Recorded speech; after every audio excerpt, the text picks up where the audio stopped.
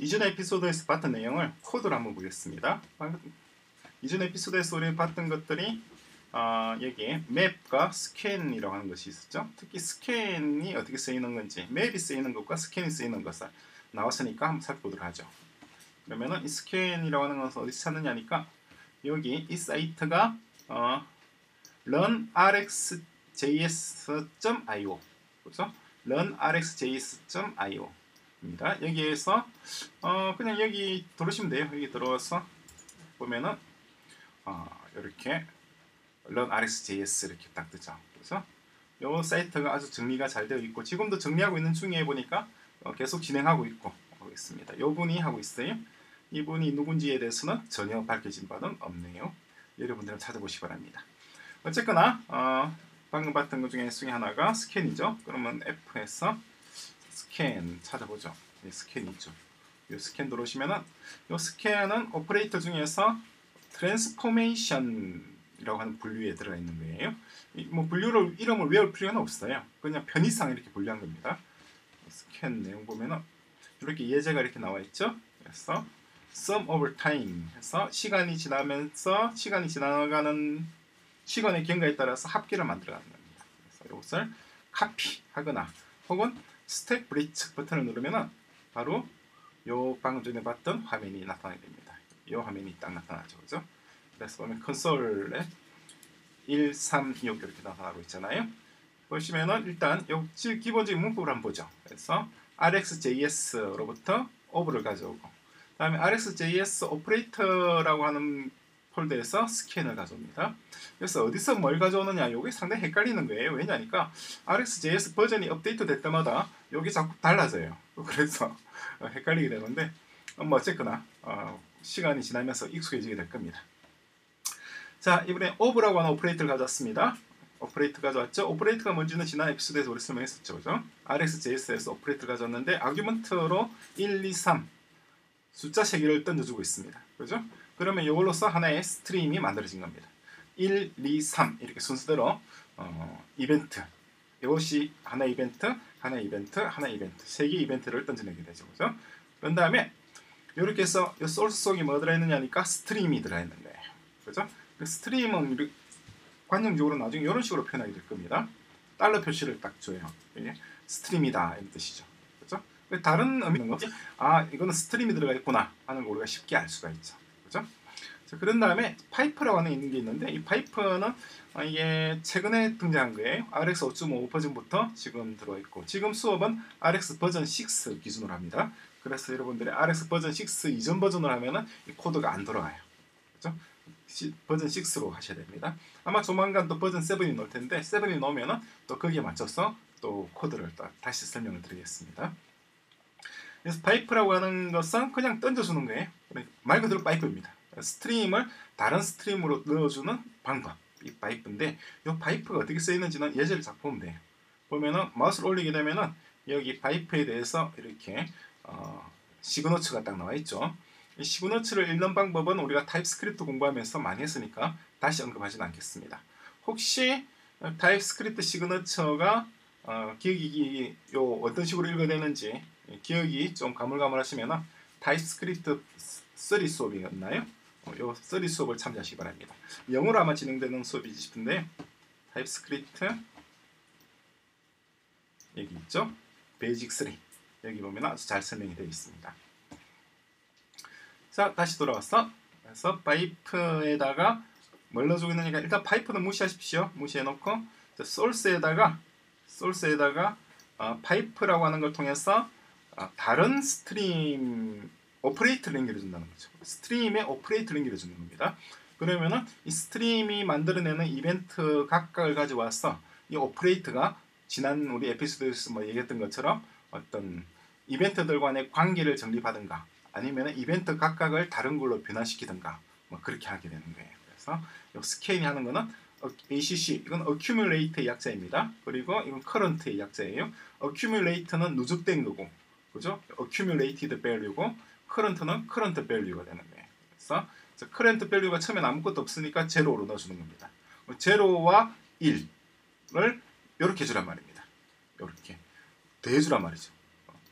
곱해주라고 해도 되고 이렇게 하면 곱하라는 건 x가 아니라 어, 어디 있나요? 여기 있군요. 이렇게 곱해주거나 혹은 나눠주거나 혹은 대주거나 곱해주니까 어떻게 되나요? 다 값은 제로가 되죠. 왜냐니까 처음은 우리가 제로로 줬잖아요. 그죠? 그게 아니라 더하기를 해주거나 혹은 마이너스를 줄 수도 있죠. 마이너스 해주게 되면 이런 식으로 되겠는 겁니다. 그죠? 이렇게 해서 1과 그 다음 것 2.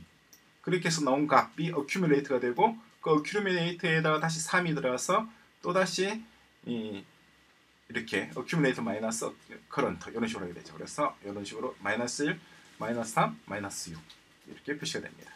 혹은 플러스 넣어주면은 1, 3, 6이 되고 그죠? 나누기를 하게 되면 어떻게 되나요? 나누기 하면 다 그냥 제로죠. 됩니다. 자 그런 다음에 해야 될 게 뭐냐니까 이것을 subscribe를 해줘야 돼요. 왜냐니까 이 subscribe 자체가 이것을 구동시키는 하게 됩니다. 여기 subscribe가 없을 때는 이게 구동이 되지 않아요. 그렇죠? subscribe하고 그런 다음에 또다시 또 function을 또 하나 지정을 해주고 있죠. 이번에는 function을 그냥 그대로 있는 그대로 주고 있습니다. value라고 하는 argument를 받아서 console log value 해주란 말이죠. 그죠? 이렇게 이렇게 파이프 속에 지금 들어가 있는 argument는 하나의 function을 이름을 가지고 있는 어, 스캔 named 펑션이라고 얘기합니다. 그리고 요거는 anonymous anonymous 펑션 이름이 없는 펑션이 들어갈 수도 있습니다. 그죠? 두 중에 어떤 function이든 가능하고 파이프라고 하는 function과 어, subscribe라고 하는 function 두 가지 function의 역할은 음, 약방의 감초처럼 RxJS 코드에는 모두 다 등장을 하게 됩니다. 이거는 이제 최근에 등장한 거예요. 요거는 아주 예전부터 처음부터 있던 겁니다. subscribe가 들어감으로 해서 어, example에 있는 것들이 example에 들어있는 요 녀석이죠. 요 녀석이 구동이 된다. 요게 없으면 구동이 되지가 않습니다. 그죠? 아무것도 안 나타나잖아요. 그죠? 그리고 이것을 이렇게도 적어줄 수가 있고 다른 식으로 적어줄 수도 있는데 여기 보면은 이게 굳이 이제 소스를 여기다 쓰기 위해서 이런 식으로 되고 있잖아요. 그렇게 하지 않고 요걸 요렇게 해줄 수도 있겠죠. 요렇게. 그렇죠? 그러면은 이그젠플이라는 건 없어져 버렸잖아요. 그러니까 이그젠플도 없어졌으니까 요것도 그냥 다 날려버려서 요렇게 해버릴 수도 있죠. 그래도 똑같이 동작합니다. 더하게 볼까요? 하면은 136으로 동작하고 있죠. 마찬가지 여기 있는 연수가 지금 이제 소스가 필요 없으니까 이렇게 두도록 상관이 없습니다. 그렇더라도 다시 하면은 제대로 동작을 하게 됩니다. 136이 나오죠. 그죠? 그래서 over라고 하는 이 over라고 하는 것은 RxJS 여기서 가져왔습니다. 이거는 스트림을 만드는 거예요. 만드는 펑션입니다.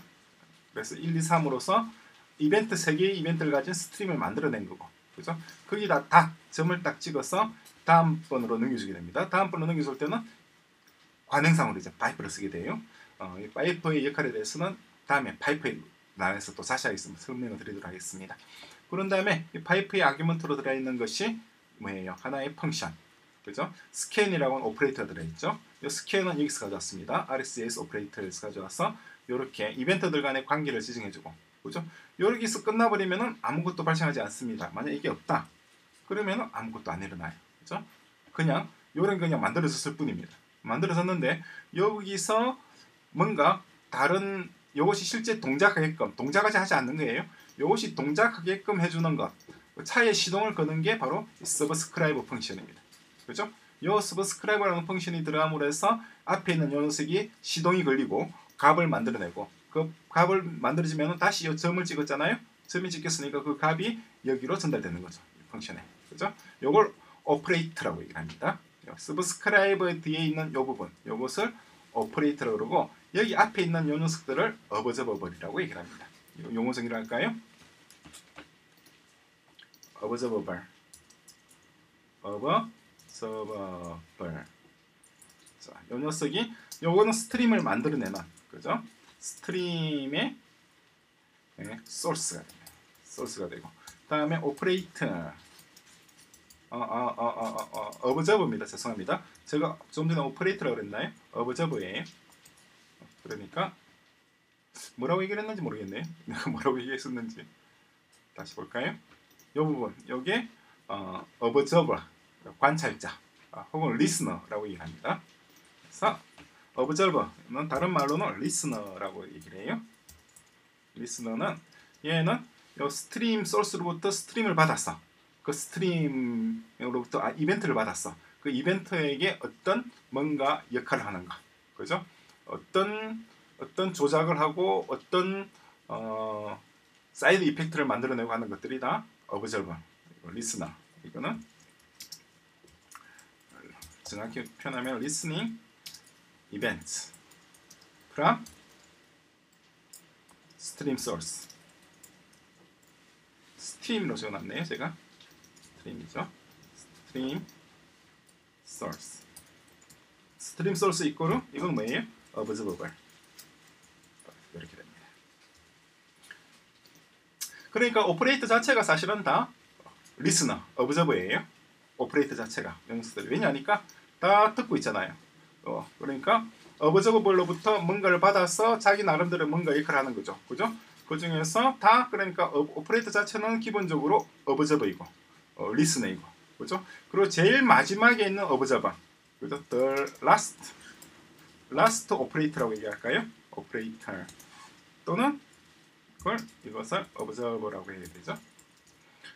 이것을 이제 observer라고 얘기를 합니다. 보통 이렇게 표, 관용적이에요. 관행적으로 마지막에 있는 operator 혹은 마지막에 나타나는 observer를 우리 observer라고 얘기를 하는 거죠. 그죠? 사실상은 중간에 있는 것들도 사실은 다 어버저버에 들어갑니다. 그러니까 여기 보면은 여기 보면 얘도 어버저버가 되고 얘도 어버저버가 되고 그리고 어 얘도 어버저버를 다 하고 있는 거예요. 여기 이만큼도. 그죠? 그런데 우리가 이제 보통 어버저버라고 하면 제일 마지막에 있는 요 녀석 이 녀석을 어브저버라고 표현하는 거죠.